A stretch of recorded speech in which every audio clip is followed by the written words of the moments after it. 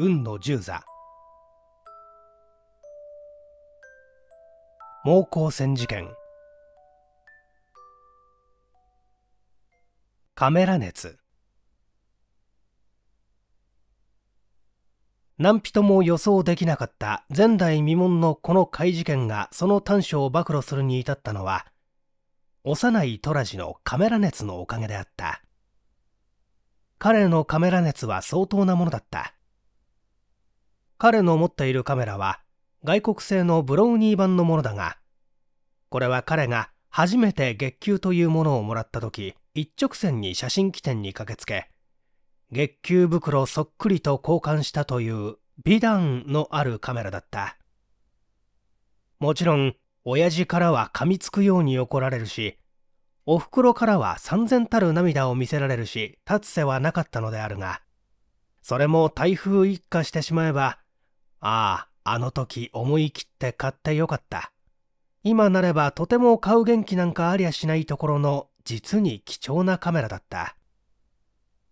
彼の会社は土曜の正午から休みで翌日曜ももちろん休みだったから彼はこの2日を完全にカメラと遊び暮らすのを習慣とした。その日は土曜だった。トラジは正午を報ずるサイレンが鳴り出すが早いかもう会社の出口へ向かって走り出していた。守衛の前をすり抜けて往来へ飛び出すが早いか上着の内側に隠してあった速射ケース付きのカメラを取り出し革紐を肩に斜めにさっとかけそして彼が最も得意な時にやる癖で鼻の下を指で持ってツンとすすり上げそして妖怪変化のようにゲラゲラと笑うのであった。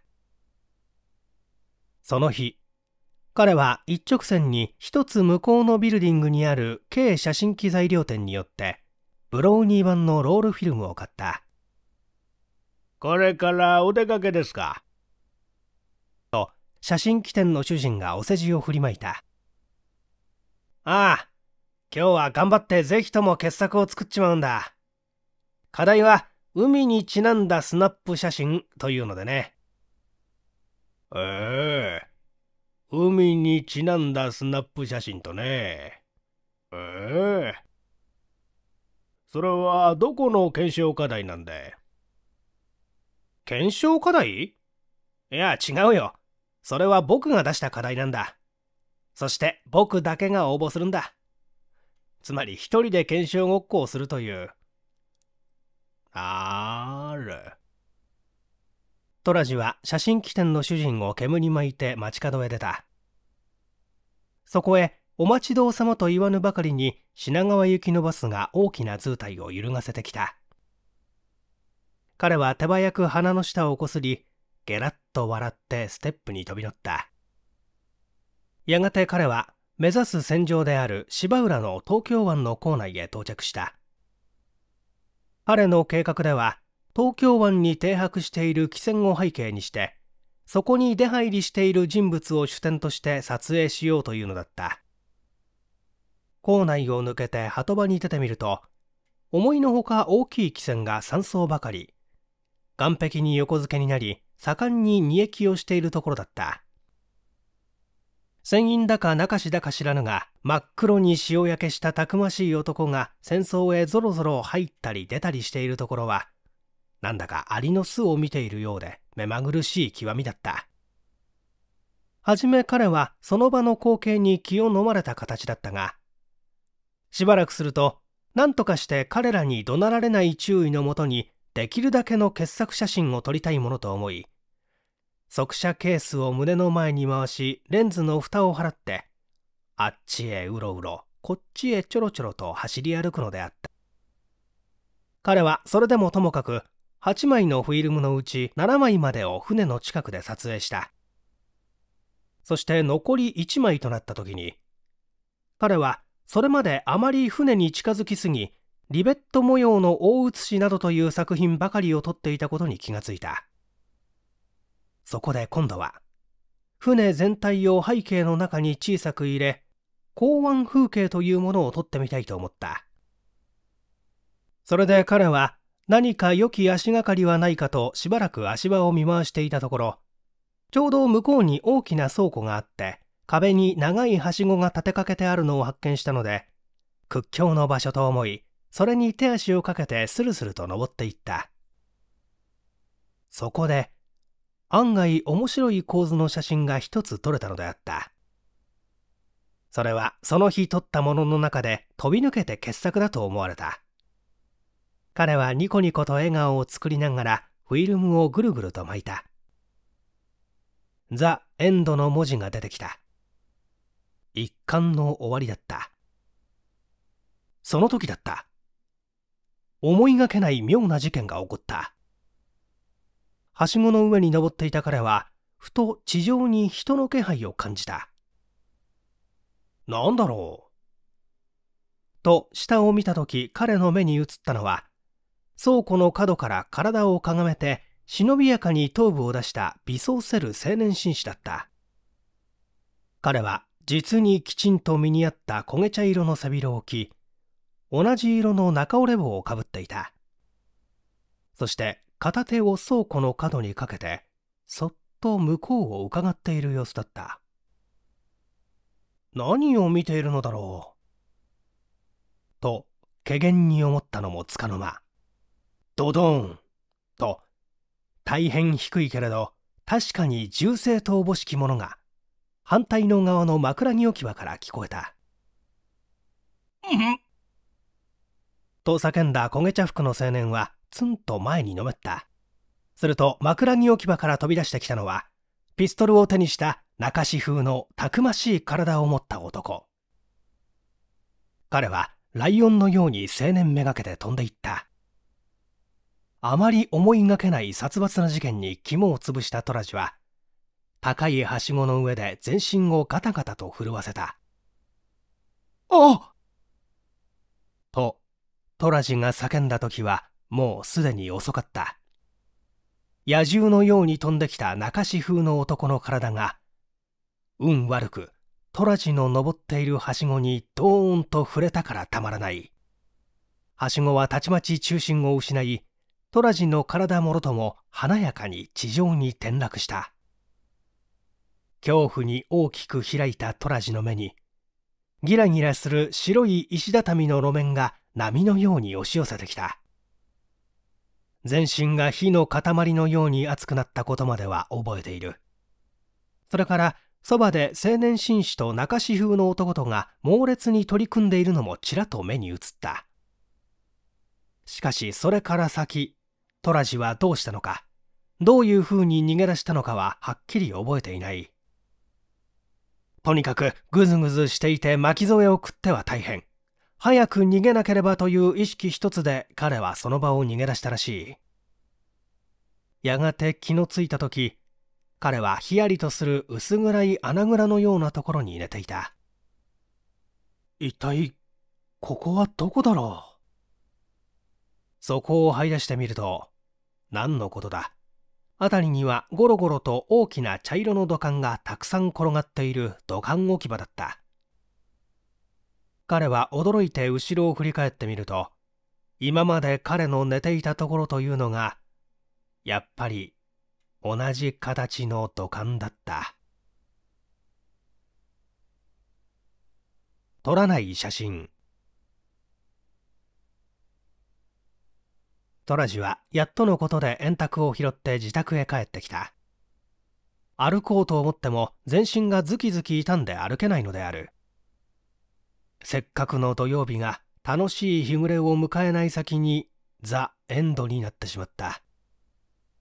母親には疼痛をなるべく隠すことに努めた。彼はそのまま2階へ上がってごろりと横になった。そしてふと足の方に目をやると草色の靴下が血でもって赤黒く染まっていた。足をやられたらしい。手を持っていくとズキンと激しい痛みがしてべっとりと固まった血がついた。靴下には穴が開いている。怪我をしたところは右足の甲の上だった。まあしかしあのような高いところから硬い石畳の上に墜落してこのくらいの傷で済んだものだ。彼は幸運というものをはっきり意識した。幸運といえばあんなに無我夢中で逃げてきたのに大事なカメラだけは速射ケースに収まったまま落としもせずに無事家に持ち帰ったことだったそれにしても一体今日のあの出来事は何だったんだろう？彼はごろりと寝たまま芝浦における突発事件のことを思い返してみた。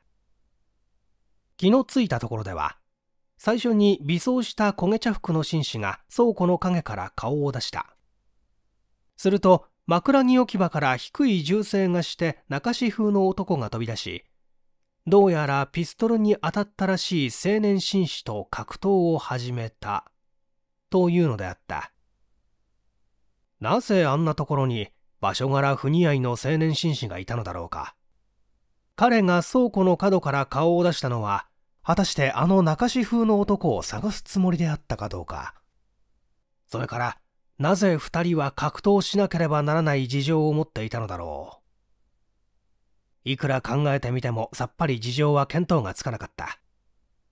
何しろピストル発射だ格闘だという事件だから。新聞の社会種としてこの上ない大事件である。勇敢を待てばきっと何か出てくるに違いあるまいと思った。そこで彼は傷口に包帯を巻き催眠剤を少し飲んで夕方まで一眠りをすることにした。よく眠っているのねという母親の声に彼が目覚めたのはもう5時過ぎだった。母親はもう夕飯前だから目を覚ましているようにと言って勇敢を枕元に置いていった。勇敢。そうだ。勇敢にどんな風に出たろう。と彼はさっと社会面を開いて全面を見渡した。ところがどうしたというのだろう。彼の予想に反して芝浦における乱闘事件については一行すら記事が載っていなかった。彼は不審に絶えないという面持ちだった。あれくらいの事件が出ないなんて。全くおかしいね。彼は予想を裏切られた不審についていつまでもいつまでも考え続けていた。やがて母親が食事を知らせる声に彼は疼痛を忍んで階下に降りていった。そして彼の負傷のことは簡単に母親のために発見されてしまった。どういうものか家に帰ってきてから傷の痛みはずんずん増してくる一方であった。母親にはカメラを持ってはしごに登っている時通りがかりの人がそのはしごに触れたのでそれで転落して負傷したのだと話をした。そしてカメラ熱のせいでこうなったことは父親にはぜひ内緒にしておいてくれるように頼むことを忘れなかっただがピストル事件のことは母親を心配させないためについに明かしはしなかったまあ危ないね写真もいいけどこれからはそんな高いところで撮るのはおよしいよ。と母親はトラジをいつまでも少年のように思って注意を与えるのであった。親父は今日も遅いね。トラジはもう6時を回っているのに帰ってこない父親のことを暗示顔に言った。ああ、お父様はこのところ何でも重大事件ができたのでとても忙しいらしいんだよ。課長さん以下総出でやっておいでなんだということだよ。へえ、重大事件がね。と言ったが、トラジの父親というのは、警視庁の高等警察課に席を置いている部長刑事であった。彼は今、憲兵隊と緊密な連絡を保って仕事をしているのだった。重大事件とはどんなことなんだろう。もちろん。お父様は何にもおっしゃらないけど、ひどく騒いでいるようだもんだから、これはただの事件じゃないようだよ。そうそう。昨べも遅く帰ってきて、一本お酒を飲んでいたが、その時急に思い出したように、トラジの本箱を探して世界地図を持ってこいと。え、世界地図？そしてお父さんはどこを広げて見ていたんです？よくはわからないが、何でも太平洋を真ん中にした、なんというか、太平洋列国勢力図といったようなものを広げてうなっていなさったが。おお太平洋列国勢力図？トラジは初めて父親の関係している事件の性質をおぼろげながら見当をつけることができたのだった。いよいよ国際間に何か起こるらしい。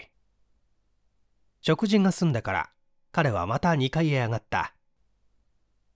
足の幹部はいよいよズキンズキンと痛みを増した。なんだか不吉な予感が彼の胸をぐーっと締め付けてくるのだった。彼は突然体を起こした。そうだ今日撮ったフィルムを現像しようや。痛みのためにちょっと忘れていたが痛い痛いと苦しんでいる間に好きな写真をやる方がどんなに気持ちがいいか分かりゃしないと思った。そこで彼はカメラを引き寄せてフィルムを取り出した。それから室内の電灯を消すと押し入れの中に潜り込んだ。彼はこの一軒の押し入れの下半分を写真眼室に作ってあった。いろいろと苦心して赤色ランプのソケットを配置したり開花から水道を引いてきたり大きな夜光時計が見えるようにしたりなどして狭いながら実に便利にできていた。トラジは30分余りもかかって入念の現像を終え定着に移った。いよいよ一番楽しみな瞬間が来たのである。フィルムの上に写真が見えるようになったのだ。彼は暗室に電灯をつけフィルムを恐る恐る水の中から出して電灯の前にかざしてみた。映っている映っている。8枚の因果がはっきり見える。汽船の膨れ上がったような潜伏が見える。金筋の入った帽子をかぶっている高級船員が颯爽と立っている。2本の筋の入っている太い煙突が見える。だんだん端から順々に見ていくうちに、8枚のうち第4番目のフィルムのところへ来て、彼は妙な顔をした。おや？これはどこだっけ？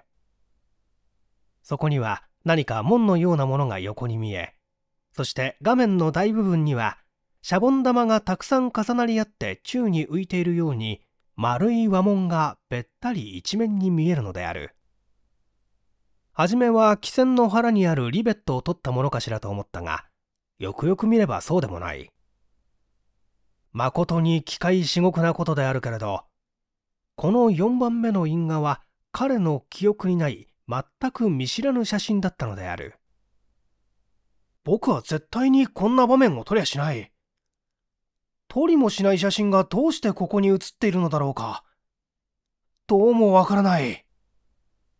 彼は足の痛みも忘れフィルムを握ったまま呆然と暗室の中に石のように硬くなって動かなかった。検証写真。どうだ？足の痛みはちと減ったかい？とトラジに父親は聞いた。それはあの事件から1週間ほど後のある朝のことだった。トラジはあれからずっと会社を休んでいた。あの日の翌朝彼はひどく熱のあるのを自ら発見した。とともに足の幹部がズキンズキンと大波を打つように痛むので包帯を覗いてよく見ると傷口を中心にして足首が真っ赤に腫れ上がっていた彼は驚いて起き上がり畳の上を歩いてみたが23歩にして痛みに耐えずどーっと倒れてしまったそれに驚いて母親は医者を迎えに行った。やがて診察の結果、彼の傷口から悪性のばい菌が入ったものであることが分かり、ここしばらくは慎重なる静養が申し渡された。彼は当然会社を休まねばならなくなった。今朝はだいぶいいですよ、お父さん。トラジはことさら元気に笑ってみせた。その実、まだズキズキと痛みはあった。しかし腫れはやや引いたように見えたカメラも悪いとは言わんが、いい加減にしろよ。父親はもうカメラのことを知っていた。母親が心配のあまりやはり話をしたのだろうが、知れてしまっては仕方がない。お父さん、今日もまただいぶごゆっくりじゃないですか。どうしたんです？どんな事件ですか？トラジは和刀を巧みに転じた。うーん。と父親は額に深い溝を作ってしばらくは黙っていたが、やがて大きくうなずくと、この顔を上からじっと見下ろした。トラジ、こいつは内緒だがな。実は俺も弱っているのだ。はあ。というのはな、某国に配置されてある特務機関からの情報によると、その日本スパイ部が先日からにわかに活気づいているという。何か日本へ在住するスパイへ呼びかけているものらしいが、一体何事が始まるのかさっぱり見当がつかないのだ。じゃあ、日本に在住する某国スパイを監視すればいいじゃないですか。ところがね、トラジー。不思議なことに、日本在住のスパイ連は毎日毎夜のうのうとしていて、別に何の活動ぶりも示さないんだ。水のごとくに静かなりという句があるが、まさにその通りだ。それは変ですね。でもこっちのスパイどもは調べられることを恐れてわざと平成を装っているんですよ。さもなければ、まだ本部からの指令が来ていないんです。いや、指令が来ることが分かっていて、それを待っているのだと言った方がいいかもしれないな。トラジも父親の子で、父親が時に相談をかけてくれると、頭皮はさておいて何かしら意見を述べることになっていた。父親が時に相談をかけてくれると、逃避はさておいて何かしら意見を述べることになっていた。父親は息子から意見を聞くことを無情の楽しみにもし、また誇りにもしていた。彼は返事の代わりに、上げかかった頭を大きく幾度も振り動かして、やがて出かけていった。トラジは寝床の中で、父親の読み荒らしていった新聞紙を持ってきてもらって読み出した。そういえば、あれからこっち芝浦のピストル事件のことはついに記事になって現れなかったようである。この非常時にあのような事件が報道されないとは変なことである。結局あれは活動写真のロケーションであったかもしれないと彼はそう思うようになった。トラジは何の面白いことも出ていない紙面をつまらなそうな顔をして隅から隅まで読んでいった。ほほう、これはすごい。彼はふと紙面に面白い記事を見つけた。それは広告面であった。検証写真募集か。一等が一人500円なりとは、ものすごい汚りようもあったものだ。題材は自然物が作った自然な模様の写真を求む、とある。自然物が作った自然な模様？はてな。何？その例として、例えば波紋の写真、竹垣の写真、電線の工作した写真などと書いてある。これは面白い奇抜な題だ。こんな風変わりな検証写真をどこが募集しているのかと見ると、東京市麻布区飯倉町東洋 KK 壁紙株式会社とあった。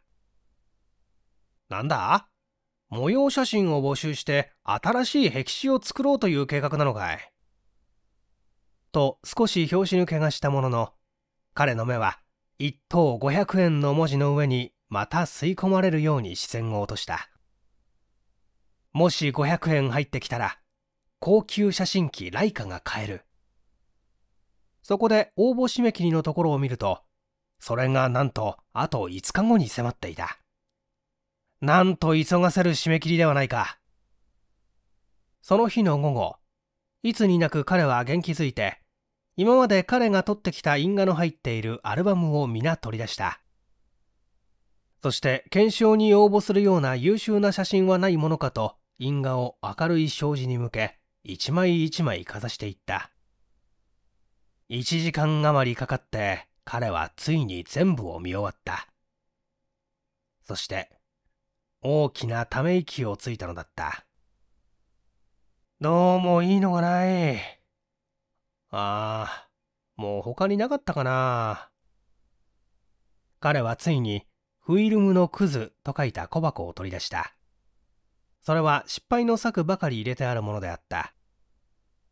彼はまた丹念に一枚一枚、幽霊のようにぼやけたのや、闇夜のカラスのように真っ暗なのを透かしてみたが、そのうち一枚の因果を取り上げたまま、うーんとうなったのである。それは彼がいつぞや海にちなむ写真例をやった時図らずも撮った覚えのない写真が一枚混じっていたが、その因果なのであった。それは、端の方に門のようなものがあり、他は全部壁のようになっていて、たくさんのシャボン玉のような和紋が重なり合っているという図案そっくりの写真だった。これは実に不思議な写真と言わなければならない。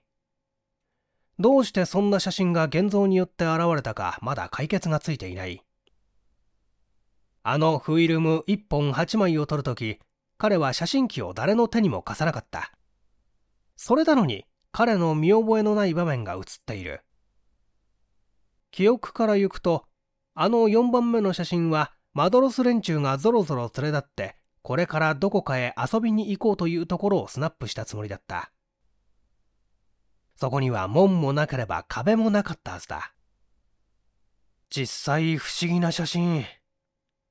幽霊写真というのはこのことかもしれない。だが今トラジは、その幽霊写真のことを別にひどく恐れているわけではなかった。いや、彼はむしろその幽霊写真を利用することを考えていたのだった。自然物模様の写真一等500円なりという文字が彼をバカに興奮させていたのである。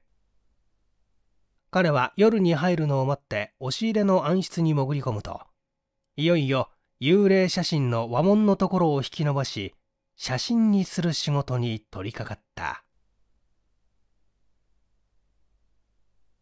壁紙社長八つ切りに引き伸ばされた和紋写真を手に取ってトラジは会心の笑みを浮かべた思ったよりも芸術的ないい写真だ素地は真っ白に美しく色が抜け、大小いろいろの輪は細く黒い美しい線でガラス玉のように張り切っていた。指先で弾けばピーンと音がしそうであった。その和紋は太さが一様ではなく、輪の一部分がところどころ塗りつぶしたように太くなっていた。まるで針金でこしらえた輪にところどころ短冊型の紙を貼り付けたように見え、なんとなく美しい感覚があった。ところがそれは、美しい感覚どころか、とんでもない恐怖の印であったことは、後になって知られたことであった。トラジはそれを厚いボール紙の間に挟んで、因果とともに荷造りをした。そして母親に託して郵便局へ持って行ってもらい、速達便として出させた。それから彼は当選発表の日をまだかまだかと待つ身の上となったのである。それから6日後のこと。別な言葉で言うと、検証写真締め切りのその翌日のこと。もう一つの言葉で言うと、トラジの足の幹部がだいぶ良くなって、初めて会社に出たその日のことであった。トラジが会社から家に帰ってくると、家の中から母親がぽーっと蒸気したような顔であたふたと彼を玄関に迎えた。おう、トラジ。お客様がずいぶん長くお前をお待ちだよ。と言って母親は目顔でもって靴脱ぎの上を見ると合図をした。彼は何だろうと思って下を見た。お？これは？トラジはぽーっと赤くなった。靴脱ぎの上には目が潰れそうなとても素敵なハイヒールの女靴がきちんと並んでいたのであったお前の検証写真が一等に当選したんだってねそれでおいでなすったんだよえ？あれが一等に？それは夢に夢見るような驚きであった。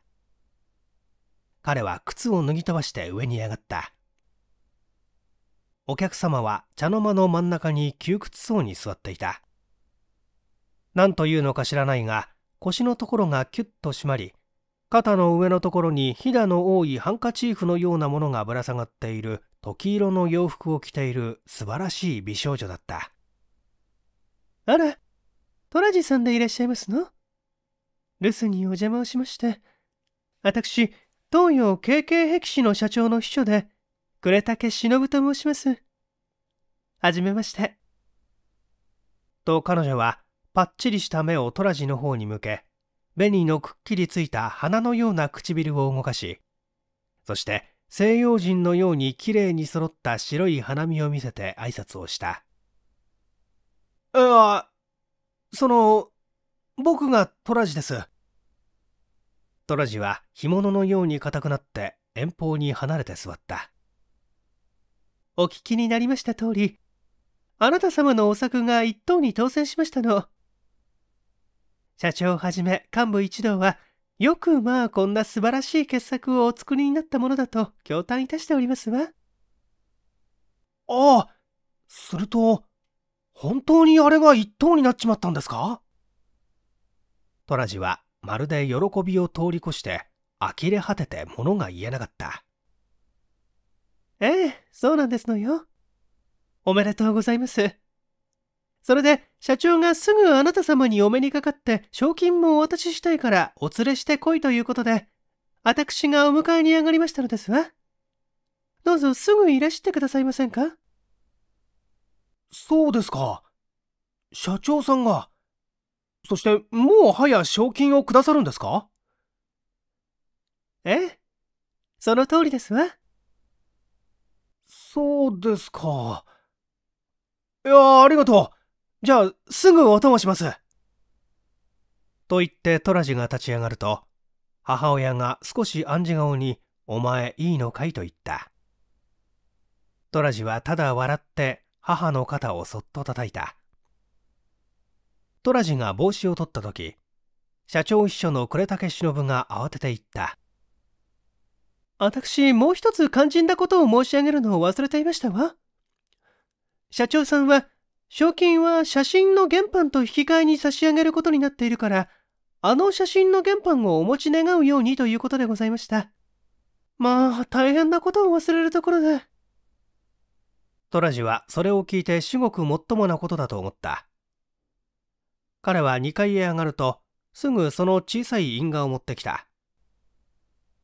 さあ、持ってきました。これでいいのですか？え？それでもう結構でございますわ。ではお母様、ごめんあそばせ。トラジは、この決まりの悪い美少女と連れ立って外に出た。大通りまで出ると、そこには高級自動車が待っていて、二人の姿を見ると、上品な運転手が飛び降りてきてドアを開けた。トラジは一等に当選するとこうも待遇されるものかと心の中で舌を巻きながら中に入った。やがてトラジは忍の案内で大きなビルディングの7階にある壁紙会社の社長室へ通った。いやあなた幼いさんですか？と言って出てきたのは思いがけない外国人だった。私社長のミッチェルです。あなたの写真なかなか傑作です。一等に当選しました。あありがとう存じます。トラジはミッチェルの大きな手と握手をした。原版、持ってきましたか？ええ、ここにあります。ミッチェルはそれを伝統に通して念入りに見ていたが、大きくうなずいて、これです、これです。と言ってその印画をポケットの中に収めた。それから別のポケットから手の切れるような100円紙幣を5枚出してトラジの震える手に握らせた。しかしその時ミッチェルはトラジの手を強く握ったまま言った。あなたわかりますね？このお金と引き換えにこの写真の権利はすべて私のものです。他に使うことよくありません。あなたこの写真の溶画を家にまだ持っておりませんか？持っていたらすぐ焼いてしまうかそれとも私のところまで郵送してください。ね？あなた、それを誓いますか？トラジは抜け目のない外国人の言葉に感心した。そして、大丈夫、不道徳なことをせぬと誓った。それでもミッチェルは繰り返し繰り返しそれを言った。トラジは女秘書に送られてビルの出口へと降りていった。しかし彼は来た時とは違った気持ちを持っていて、彼女がなんとなく憎らしいように思えた。彼は黙って忍に別れの挨拶をした。するとその時、彼女は言った。あなた、本当にあの写真の溶画を他に持っていないの？もし持っているんだったら、1枚につき50円で私が買うわよ。電話かけてよ。ね？え、50円？あなた、持っているの？いや、もう持っていませんよ。トラチは、強くかぶりを振った。入選作の秘密トラジは夢のような500円なりを握って帰宅した。彼の無事な顔を見ると母親は抱きかかえんばかりに喜んだ。そして彼の土産話とともにその莫大な賞金を見せると母親は喜びを超えてむしろ気味悪がり。まあ嘘じゃなくて本物のお札をくれたのね。いくら相手は外国人だと言ってもこれは多すぎるね。と言ったトラジは2階へ上がったそこにはすでに寝床が敷かれてあった。彼は嬉しさを胸に抱きしめたまま床に着いた。彼が起こされたのは夜中の2時頃であった。母親の声に目覚めて下に行ってみると、父親はやっと帰ってきたばかりらしく、長火鉢の前にあぐらをかいて、瞳孔の中につけた缶どっくりの番をしていた。おお、トラジか。と、父親は柔和な笑みを浮かべながら。寝ているところをすまなかったが今夜お前が大した儲けをしたという話を聞かせてもらいたいのだ。500円もの金になった写真というのはどんなものなのだい？父親もだいぶ気に入っているらしいトラジは2階へ取って返して押し入れの中から1枚の写真を持って降りたミッチェルや女秘書にはもう一枚もないと言ったが、彼はたった一枚だけ焼き付けたのを持っていたのだ。彼はそれをアルバムへ貼って記念にするつもりだった。おお、こんな写真がね。と、父親はそれを手に取ってつくづくと見ていたが、そのうちに父親の目が険しく光ってきた。うん、これだこれは大変な写真だぞ、トラジ。大変ってどうしたんです？ああ、今見せてやるものがある。そう言って父親は壁にかけてあった上着のポケットから透明紙に印刷した一枚の模様図を出してきてトラジに渡した。それは縦横が斜め十文字になった。まるで工作した電線を斜めから見たような模様であって大きさはちょうどトラジの写真と同型だった。これがどうしたんです？いやこの小さい模様の一辺もお前の大きな和紋写真も共に今その筋のお尋ね写真なんだよ。え？トラジの驚きを前にして父親はそこで詳しい話をして聞かせた。かねて父親たちの捜査している某国スパイ事件に関しついにこの電線模様図を手に入れることができた。それは何かの暗号を示しているものかと思われたが解読係に回してみてもよほど不規則に記されていると見えさっぱりわからない。そして結局この電線模様は1枚で完全なる暗号を表しているのではなく言葉を変えて言うと数枚の模様を重ね合わせると初めて完全な文字が組み立てられるという文字分解式の暗号文であることが分かったのだ。だからこの際大事なことはこの暗号の残りの部分を示す他の分解文字の模様図があるに違いないということになった。トラジの当選写真はまさに探していた模様暗号の一枚でこれは実に貴重なものだというのであった。トラジはそれを聞いていて我が耳を疑った。スパイの暗号写真。どうしてそんなことになるのか。父親はそこで言った。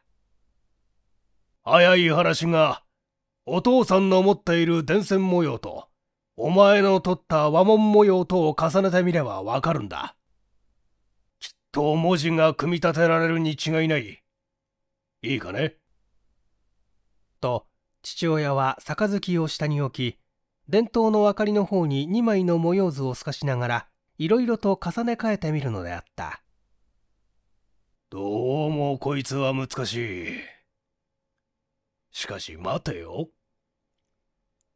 と父親は異常な熱心さでそれを続けていた。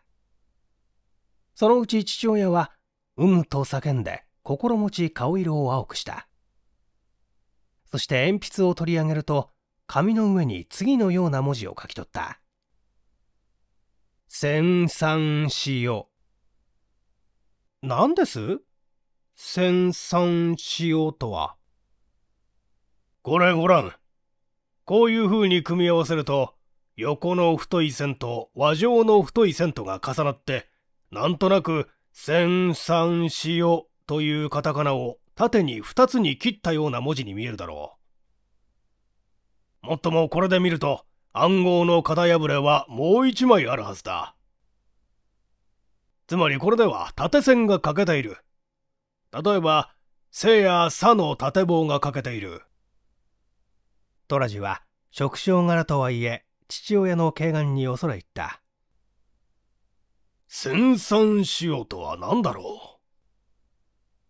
と父親は小首をかしげていたがやがてまた大きくうなずくとその紙切れの上に次のような文字をスラスラと書いた「午前3時より」午前3時より。うまいところが見つかったものだ。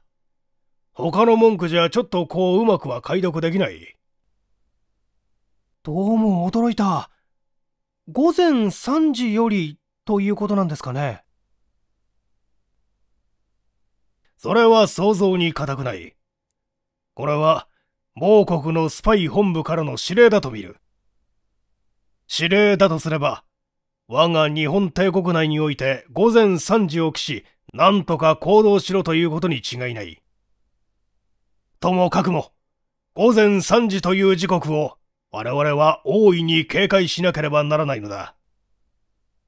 幼い部長刑事は板も明快なる判断をした。トラジは父親がこうも偉いと知ったのは初めてであった。さあ、そこでトラジ。お前はこの写真をどこで手に入れたか詳しく話をして聞かせ。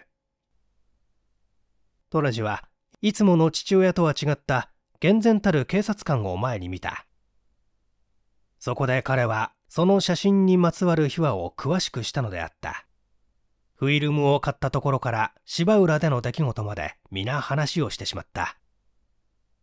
熱心に聞いていた父親はそうか。お前は決してそのような写真を撮った覚えがないというんだね。ええそうです。うーんすると、こいつは実に妙なことになる。取りもしないものが映っている。そんな階段みたいなことが本当にあってたまるものか。何かこれは種があるに違いない。今にきっと、その謎を解いてやるよ。屋上の開示その翌日からトラジは父親のお供をして歩くことになった。もちろん会社の方は臨時休みということにして全ては切迫したことの重大性によるせいだった。それはちょうどお昼休みの最中だった。2人はトラジに500円をよこした東洋 KK 壁市株式会社のあるビルディングを遠望して立っていた。どうですお父さん？何か怪しいところがありますか？うん今窓の中に薄紅色の洋装をした女が歩いていたぞと父親は双眼鏡を目に当てたまま言った。それは女秘書ですよ。怪しいんですか？さあ、まだわからないかね？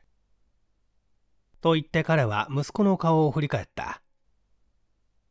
おい、どうも変だと思うのは、あの窓の外から屋上に向けて取り付けてある床屋の看板のような棒状の広告看板だ。なんだってあんな変なものをつけたろう。さあ。とにかく、夜になってもう一度来てみよう。それから二人はその場を立ち去った。そしてその夜になると、二人は元の場所に現れた。おお、ついている。これは美しい電気看板だ。東洋 KK 壁紙という6文字が縦に美しく並んで一字ずつ違った色に変わりながら輝いているのだっただがそれは美しいというだけのことで何の怪しむ節もなかった父親はトラジを促すとそこを立ち去ったどこへ行くのかと思っているとそこを少し向こうへ行ったところにあるテートホテルへ入っていったトラジが怪げに思っているうちに二人は6階の部屋の客となった。どうするんです？お父さん。うん。今夜はこの部屋からあの看板を注意しているのだ。なるほど。二人は交代しながら向かいに見える東洋 KK 壁地の電気看板を注視していた。その長い時間にわたっての監視の結果、夜更けて初めて分かったことは、その美しい電気看板が午後10時になるとパッと消灯するということだ。もはや消してしまうのか。それでは何の目印にもなりゃしない。と父親は不平だった。彼はその電気看板がいつまでもついていて、どこかへ何かの信号を送るのではないかと思っていた。ところが午後10時に早くも消えてしまったのだから、当てが外れたというより他はない。それでも監視は続けられた。ことに、午前3時になって、この消えている電気看板がまるで生き物のようにパッと点灯するのではあるまいかと予想されたからだった。ところが、その予想はまたもや外れてしまった。ビル全体が暗黒の一団となって、闇の中に眠り続けるのであった。二人はすっかり元気を失って倒れるように寝台の上に体を運ぶと気の緩みでぐっすりと眠り込んでしまった。だが二人は朝とともにまた元気を回復して次の日も東洋 KK 壁市を監視することに決めた。父親は午前中ちょっと警視庁へ行ったが正午に近く再び帰ってきた。今日聞いてきた情報によるとね某国スパイの連中は、このところ表面的には奇妙になりを沈めているそうだ。しかし内部へ入ると彼らは大変活動しているそうで、何か前代未聞のことが始まるのではないかということだ。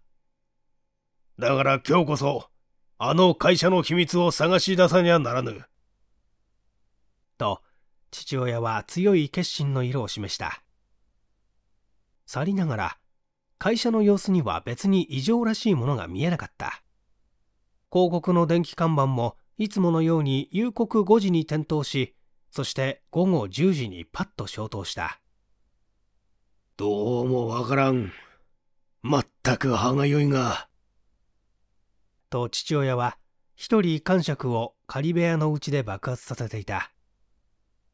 その時、トラジは何を思ったか父親の名を呼んだ。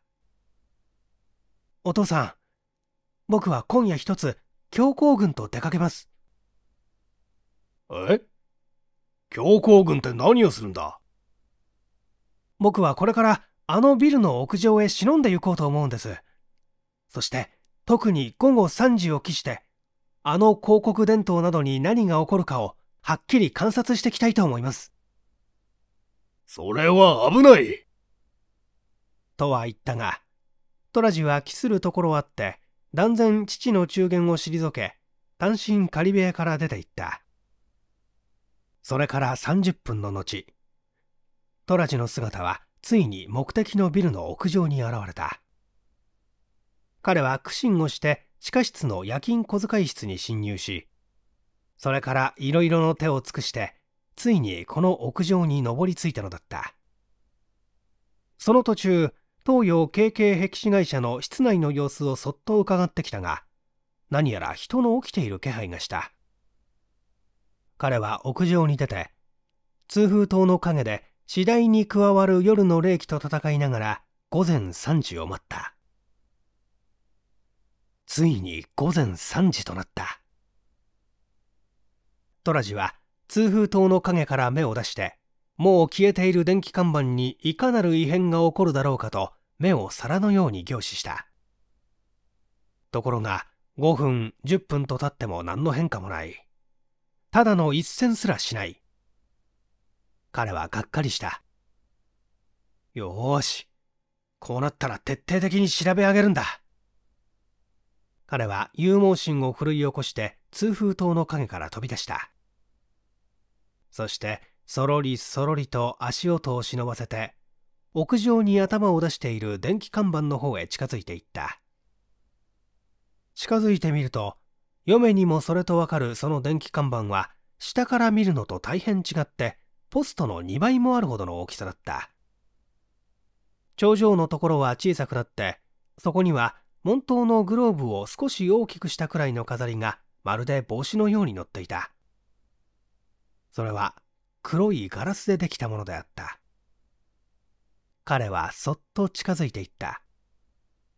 その時、なんだかパタパタというわずかな音を耳にした。何だろうと思ってよくよく見ると、それは蛾の羽ばたきだった。大きな蛾が例の門頭の頂上に乗っている黒い球形のガラスの上にパタパタ羽を叩きつけながら飛び回っているのであった。気をつけてみると、驚いたことにそれは一匹ではなかった。約10匹ぐらいもの蛾が、まるで明かりに集まるような格好をして、その黒いガラス玉に集まっているのである。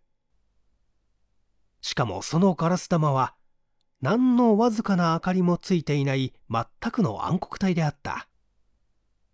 明かりに寄ってくる習性の蛾が、ここでは光のない暗黒体に群衆している。そんな不思議なことがあってよいであろうか。それを見ているうちに、背中がぞーっと寒くなってきた。恐ろしい蛾の猛襲だ。蛾の猛襲、奇怪な現象である。それはありえないはずのことであるのに。そうだ。ここにも何か種があるのだ。トラジはそれを考え出そうと一生懸命に努めた。そのうちに彼は夢から覚めたようにパッと目を見開いた。おわかったわかったぞ彼は父親のところへ飛ぶようにして引き返した。お父さん、これから家へ帰って写真機を撮ってきますから。そう言うなり、彼は呆れ顔の父親を残して家へ急いだ。円卓のおかげで40分ほどすると彼は大きな荷物を持って再び父親の待つ部屋に戻ってきた。どうするのだ？何の写真を撮るのだ？第一、この暗さで写真が撮れるのかい？父親の言葉を笑って聞き流しながら彼は悠々と例の貴重なカメラを窓際に添え付けた。彼はピントを合わせ甲板を装填したそしてシャッターをパチリと開いた。その写真は即座に現像された。彼は定着を終わり甲板を水洗いにかけながら透かしてみて大声で父親を呼んだ。彼の予想は見事に的中したのだった。お父さんこれをご覧なさい。これは因果ですから明暗が反対になっていますがこれがあの電気看板です。この上を見てくださいこれが看板の上の黒いガラス玉ですがね？見えるでしょ？こいつは目で見ると真っ暗ですが写真に撮ってみると高校と輝いているんですよ。何？写真に撮ると輝いているって。そうです。この写真看板は赤外線用のです。つまり、赤外線は人間の目に見えないが光線なのです。僕はあの黒いガラス玉にたくさんの蛾が群衆しているのを見てあれが赤外線を出しているのに気がついたのです。蛾の目は人間の目と違って赤外線がよく見えるので、それであの明かりのついていないように見える看板の頭部に群衆していたのです。おお、そうか。するとあの看板は赤外線灯だったのだね。よーし、それで何もかも分かったぞ。トラジ、お前はカメラで大手柄を立てたよ。さあ、大急ぎで本庁行きだここに橋なく、某国スパイによる恐るべき施設がすっかり暴露してしまった。そして全国にわたって一斉の検挙が行われ、拘禁されたスパイはその数丸々名に上った。それとともに約500機を産する赤外線灯がことごとくビルジングや家屋、電柱などの上から取り去られた。その恐るべき施設とは、この赤外線灯だったのである。某国スパイは全国における国家的重要物件の位置、例えば帝都の官庁の位置とか、水源地、発電所、変電所などの位置などを肉眼では見えない赤外線灯によって巧みに目印をつけたのであった。それはもちろん某国の超重爆撃機体が空襲を敢行して爆弾投下をするのに一目でそれとはっきりわかる目標をつけておくためだったそれは空襲機に赤外線をすぐ目に見える光線に直す光学機械を備えていればよいのであってその機械さえあれば爆弾投下手は容易に上空から水源地や発電所を見分けることができたのであるこれは秘密裏に行われた試みであった。それで果たしてこの仕掛けが完全に役目を果たすかどうかという試験が行われることによって本国からその指令が飛んだのである。それは重大性に鑑み非常な用心さをもって在日本のスパイ本部へ送られることとなった。それがあの海フィルムだった。暗号にはわざと日本のカタカナを用いて外国文字には敏感な検閲係をごまかすことにした。そしてそのカタカナの文字を横棒と縦棒と和との3つの写真に分解したのである。